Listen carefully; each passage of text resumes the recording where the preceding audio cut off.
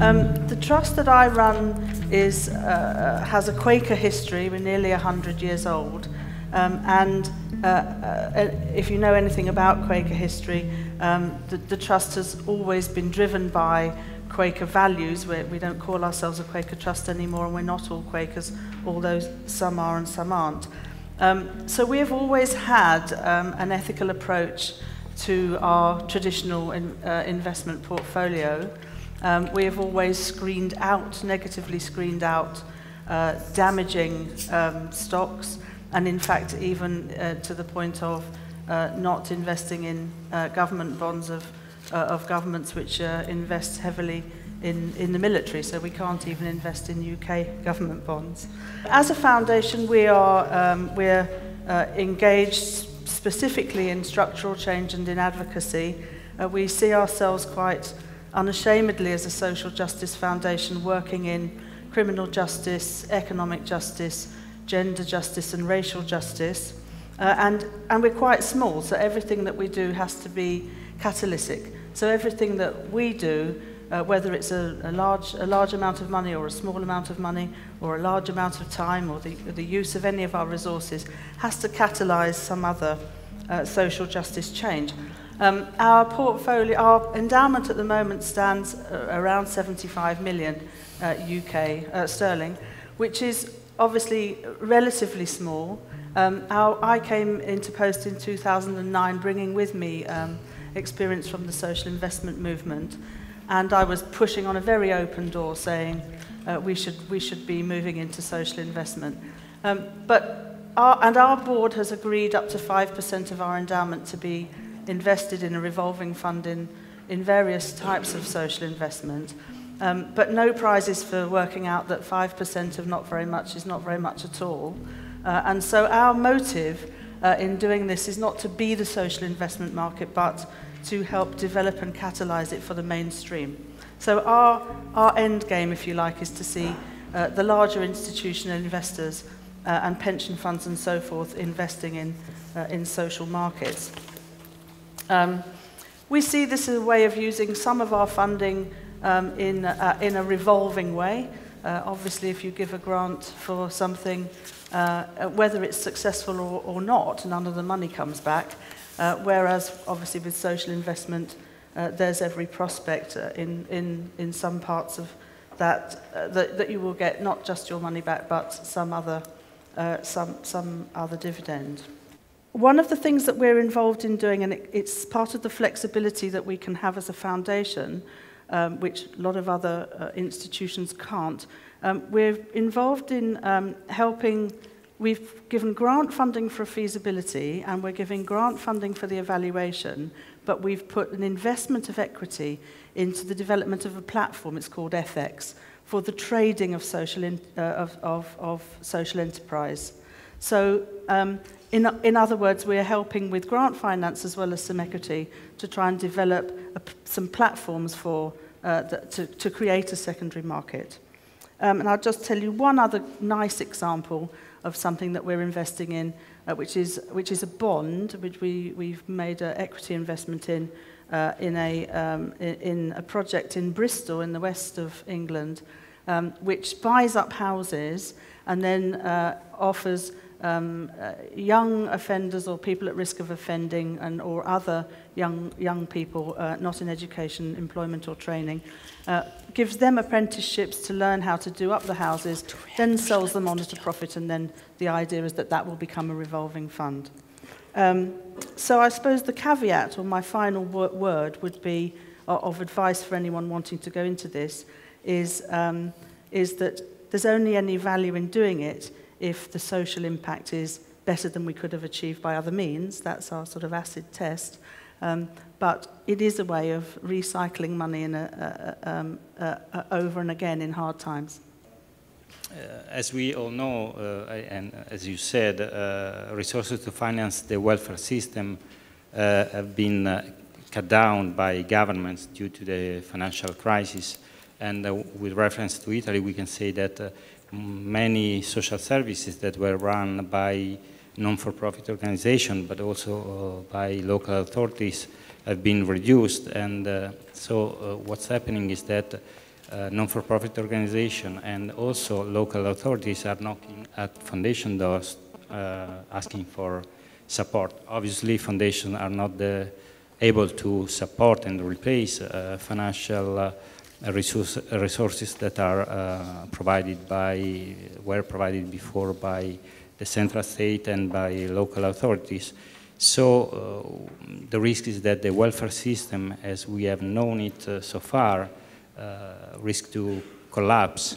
And so we think that there is obviously, obviously a, a need uh, for uh, cooperation among all the um, players, private and public, profit, non-profit, of the local uh, territories in order to find a solution to uh, social needs that are uncovered by uh, public authorities.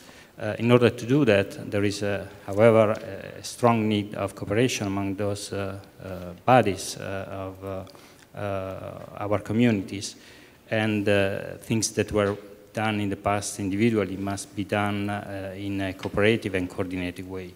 Uh, we think that in this perspective, foundations, I'm specifically, uh, specifically referring, of course, to foundation of banking origin, but not only to them, um, uh, could play a very strategic role, uh, not just for the resources, financial resources they have, but uh, mainly for three um, other different reasons. First of all, because um, due to their close relationship with their communities, uh, foundations are able to pick up their needs, to uh, understand their requirements, and to identify priorities. We could define them like uh, fillers uh, of their territories uh, in constant dialogue with a relationship with all the other players of, of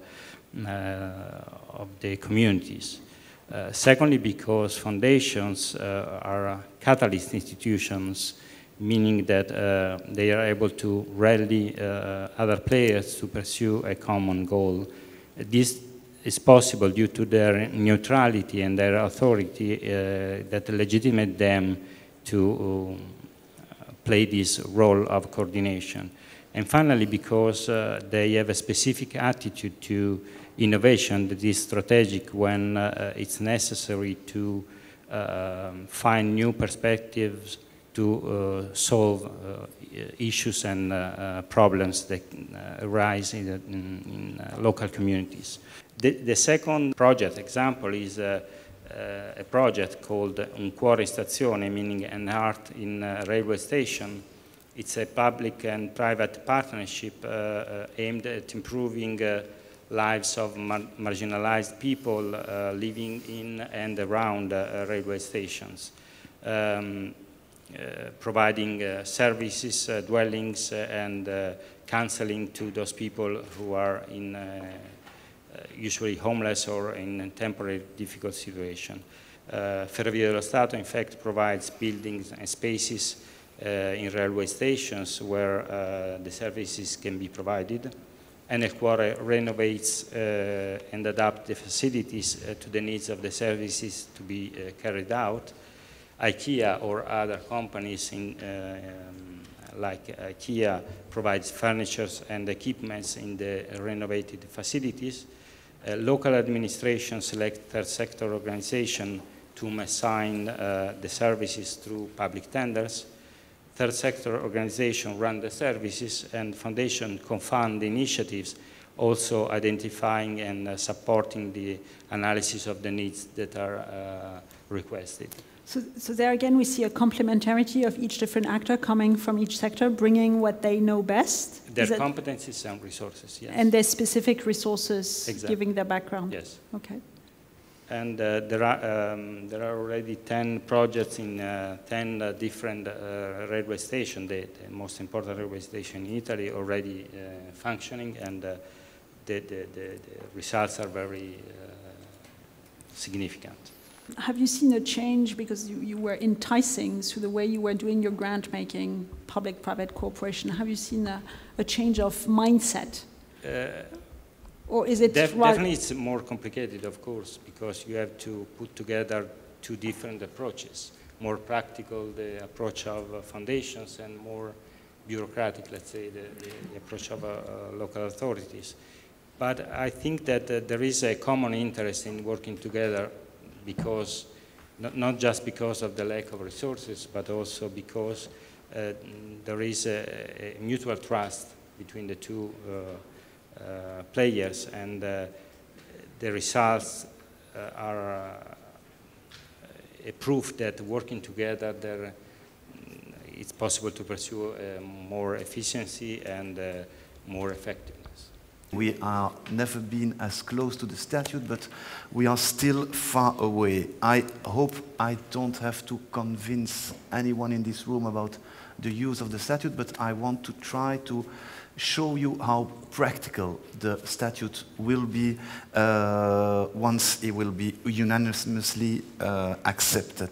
I will do that with my four hats. Um, the first one is as an employee of the King Baudouin Foundation. You all know the King Baudouin Foundation. You know we have activities in Belgium and Europe. We are giving grants. We have donors in different countries. So we have several reasons to hope for uh, a European Foundation statute. But I, go, I will go into the details of one. We had the chance to receive a legacy from a French resident donor. So there is a double tax treaty between Belgium and France that says that if you are considered likewise a foundation in the other country, you can benefit from the same inheritance taxes, which is very interesting for Belgian foundations because French foundations are exempted from inheritance taxes. So the good news about this situation was that in France, they speak French. The bad news was that we had to go through all the administration of the, of, of, to, to, to, to show that the King Baudouin Foundation was equivalent to a, to a French foundation. This took us two years. Um, we had, fortunately, not to translate our bylaws and so on and so on because we had them already in French. And we had to hire uh, a lawyer office to help us to go through the different corridors of the administrations. Two years. Should we have had a European Foundation statute, that would have been much easier, I guess.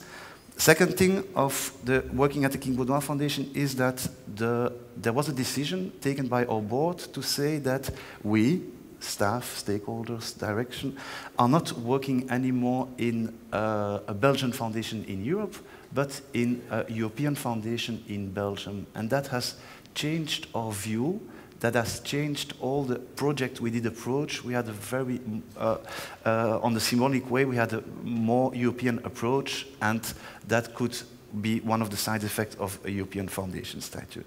As my second hat is a philanthropy advisor. Uh, that's my day-to-day -day job. I'm giving advice to families, corporations, and uh, individuals on how to engage in, in uh, philanthropy. If I look to the two last weeks, I did meet, I did have five cases where a European foundation would have been the right tool. And I will, I will, I will go into them because it's important. There is, the first one was an American food chain. It's more uh, an American breakfast chain that wants, that had the idea to create a European foundation. So they called me, they said, is that possible?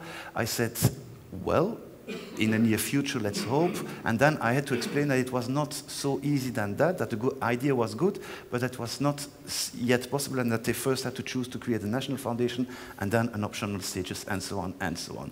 So I did have the impression, and what, what is very important for them, that is that they have European, their name and foundation in the, in the name of their future tool.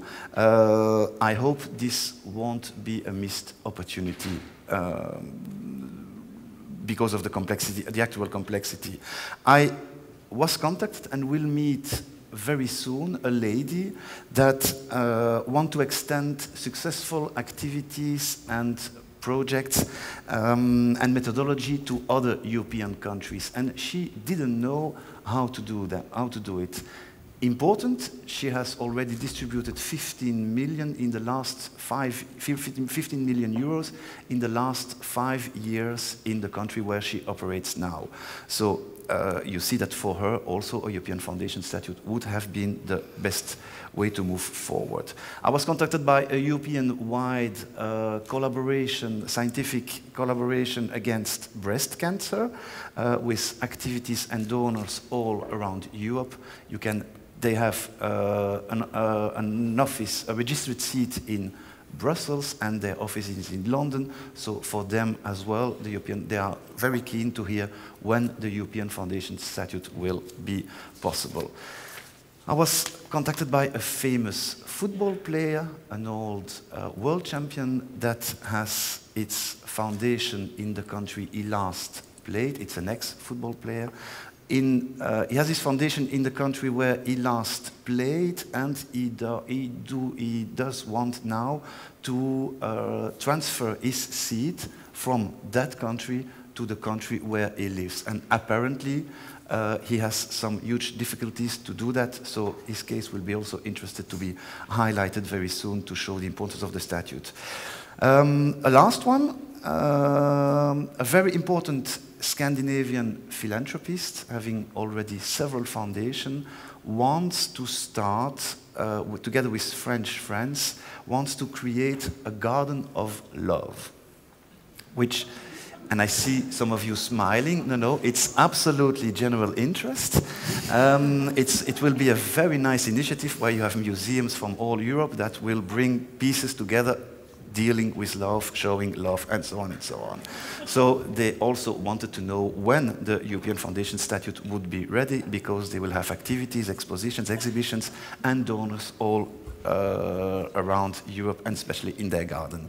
And I could go on. Uh, I was contacted by AIESEC, the, the Economic Student Association, wanting to help students in economics having dif financial difficulties. They wanted also to create a European foundation. Uh, a, a, famous European TV channel wanted to start something, uh, a US-based agriculture think tank, and so on and so on. And last but not least, the European Foundation for Innovation and Technology that was created by the European Commission itself. Who better than them will be uh, a European foundation? Without the statute, some of these initiatives will never start or in a less effective way. And I think we don't live in times where we can afford such missed opportunities.